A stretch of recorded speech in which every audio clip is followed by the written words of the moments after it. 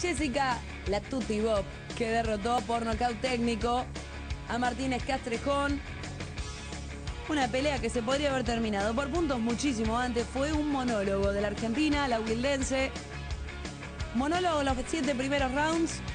Paliza directamente en el octavo y ni les cuento en el noveno, donde finalmente la salteña Romina Arroyo, que arbitró este duelo, terminó decretando el nocaut técnico a 12 segundos para el final del asalto. Una Argentina que fue demasiado para su rival. Chesenia Martínez Castrejón, 47 kilos, 900 gramos, peso para esta velada que se disputó ante muchísima gente en el Luna Park. Estuvo rápida, potente y constante en sus golpes.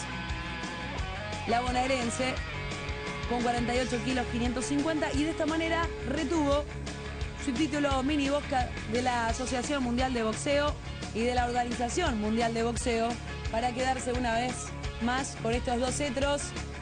Ya realizó ocho defensas del título de la Asociación Mundial de Boxeo. Hice lo que sé, me gusta hacerlo. Creo que demostré que, que, podía hacer de todo. Era muy fuerte que agradecer al rival, que, que aguantó mucho, que puso toda la garra, que ya te dije, era mexicana y los mexicanos vienen a dejar todo. sí, yo dije que que por eso me gustan los rivales mexicanos, aunque la gente parece que son paquetes, pero no son ningún paquete, vienen a dar todo y hasta que no le tiren la toalla o el árbitro no pare, ellos no, no dan el brazo torcer. Muy bien por Argentina, Jessica Bob, que de esta manera ya tiene 16 triunfos, 7 de ellos por la vía rápida, y que se quedó con una nueva victoria en la jornada de ayer, pero que ganó también es Omar Narváez, cambio de categoría para él y sigue reteniendo el título Super Mosca de la Organización Mundial de Boxeo. Sí, ¿vieron quién estaba ahí? Holyfield, que está aquí bailando por un sueño la Argentina y de paso se hizo una escapada y fue a ver boxeo.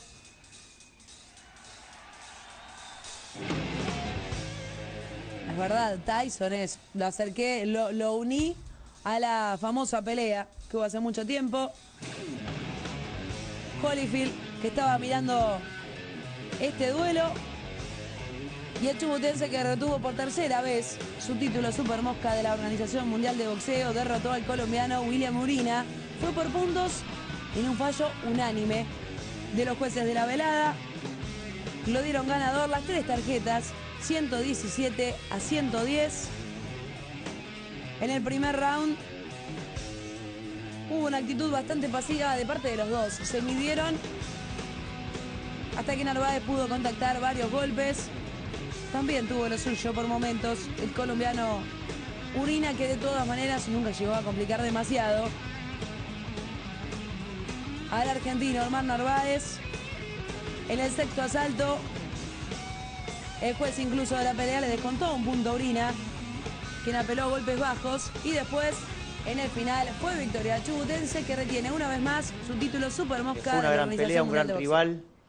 Eh, no era fácil, eh, yo en un momento escuchaba un par de en la, conferencia de prensa que, criticaban y creo que ahí se notó que, no era estar número 7, 8, 10, 14, no tiene nada que ver. El muchacho se ganó bien la, la, la, gana de, venir a, a pelear acá por el título del mundo y dio una gran batalla y hasta me complicó por momentos.